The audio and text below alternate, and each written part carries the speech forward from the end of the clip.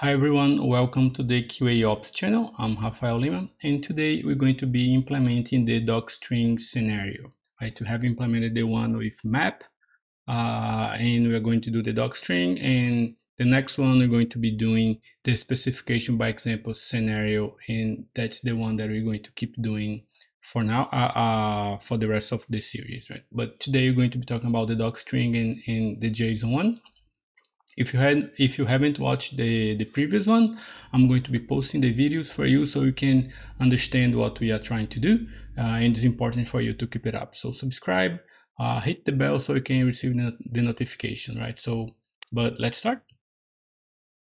So i have here a our our code right? Uh, this is what we have been doing so far. We did this scenario and just a quick recap when uh, when we have the step definitions here with the scenarios that we that we created, uh, the step that we already created. Uh, there are some cleaning up that we need to do, but we're going to be doing that in the next videos. For now, we're going to implement this one. And this is very interesting one. I, I, I mentioned in, in, my previous video, but I'm going to make sure I mention now today also. Is uh, we this is not the very not a specific uh, by example way of writing this because as you can see this is much cleaner. This is uh, it's it's is already too much in, in my opinion and this is the ideal one right? But then again this is important for you to know what you are trying to do right? Uh, for some reason I was, I was playing with this a little before I start uh, recording this video and IntelliJ is having a hard time um, with this syntax and I'm going to show you what I mean. But okay, this, we don't have this step yet and this is the same step as this one. So uh, as long as the code is the same, the, what you're expecting is the same and, and what the code is doing is the same, which is uh, you can reuse the step uh, for as many scenarios as you want. Right so I'm going to create a new method. So it's going to be alt enter. And IntelliJ is already crazy I think. So let me remove this alt enter. Now it's going to create the step definition. And I'm going to use uh, the the files the file that we already have one thing that I, I, I think is important for me to tell you is that you're going to notice that there are two uh, regexp here. One is for Portuguese and the other one is for English, right? Doesn't really matter. Uh, Cucumber is going to understand those two but in your project you're going to choose either English or Portuguese. So probably in this case it's going to be English. So I'm just doing this because I want to reuse the, the, the step definition. Right so this is the same process that we did in the last, last video. We created the, the step definition. But as you can see it did not recognize everything only the number only the v3 so I'm going to clean up a little I'm going to change integer for word. I'm going to be posting the videos of why it's word and what are, what are the other options here. And now it recognized, right? Great. This is not an int. We are sending a string as a endpoint. So string endpoint. Great.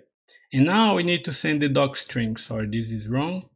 Let me correct here, docstring. So we are going to do the docstring. So I'm going to paste the docstring back. And you're going to note that if I change here anything, this is not IntelliJ is not recognizing because of this. This is an issue with IntelliJ, right? So if I comment this, you're going to see that IntelliJ already uh, uh, was able to understand this. I'm going to go back here it was back. For some reason it's not recognizing this syntax. But we we don't need to worry about that. So this is the same uh, as this one. You're going to see that I'm changing a little bit. So let me put user 11 the user James everything else it's it's different except the password and phone and user and, and user status, but the name and the way that we are going to be searching for this user is different. So we're going to see that we are using the v3 slash user slash day user because this is the user that we are creating now. So we also need to tell that we are going to send this, right? And this is docstring, and this is a docstring type.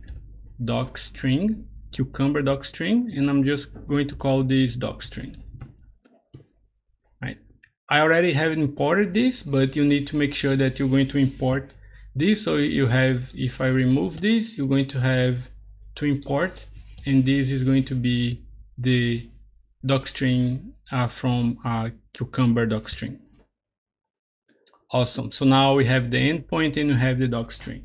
One thing that we need to do is we need to uh, implement the call, the, the get call, right? So what we're going to do is, it's very similar to this one, right? So we have a given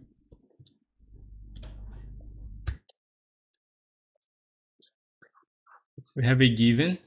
Uh, we are going to put the content type. You're going to see that this is a duplication of uh, code duplication, but we're going to address that in the next video. And I'm going to use the body. And I'm going to say that the body is docstring, but not just docstring. It's docstring content, get content.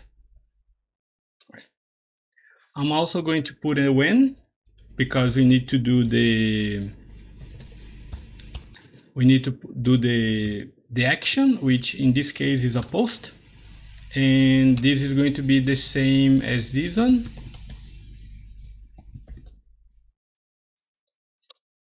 and now the then which is also similar which we are checking the content type. If it was returned a JSON content type JSON. And if the status code is http status uh, okay. And the other one is exactly this one right? right but let's put a breakpoint here for a second I'm going to put a breakpoint here and I'm going to execute this so we're going to see that we receive this and we receive the docstring right? And why we are using getting content because you're going to see that the docstring here, you have the content, you have the content type, which is a JSON, and you have this converter, right? What we are interested in is this content here. That's why we are using get content because I want the get content or I, I want the content, the body of the docstring, and that this is why. Right? So I'm just going to uh, resume the program and we have a we, this one passed and it was okay the return but this one failed right? And this one failed uh, exactly why why what happened here Let, let's check a little uh, so we have here we are sending everything okay we are it looks fine but there is a catch here Right? Remember one thing. Remember that when we did this, the, the, this first step here, we are saving the expected user to use down here in another step, in another method. And in this case, we are not. We are not saving anything. So that's why it's null, because we are not sending anything. When it's coming here, expected user dot get, it's null. So yeah. So what we need to do, we need to set this up, right? I'm, I'm, I'm going to make it work, but this is not ideal. But since this is not a, uh, the final solution, uh, I'm okay with it. So what I'm going to do is, remember what we did uh, in, in the previous one. We have an expected user, right? We have a, a, a private map called expected user, and we are setting the table to this expected user. And this way we are sharing the information between methods. So I'm going to say expected user and I'm going to create the information of the user. The expected user is um, so the expected user is username, right? This is how it's mapping. right? So this is username and the content is the user that we are creating here.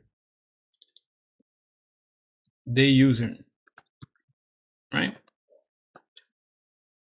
Great, so I'm going to rerun, Control R to rerun, and now it passed because we, we set here, and now there is the username, the username, and it's able to find.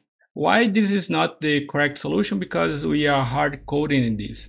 Ideally, we should be getting this information from the body itself the same way as we did here, right? But in this case, we would have to, this is a doc string, and as I showed you, let me rerun the debug. It's, it's a JSON file. Uh, we would have to deal with this, we have to convert, we have to get other things, we will have to, other thing that we have to deal with. It. But since this is not the, the, the solution that I'm aiming for, I'm going to leave for this. I just wanted to show you how to handle docstring. But if you decide to go with this solution, you need to figure out a way to dynamically get this username, right?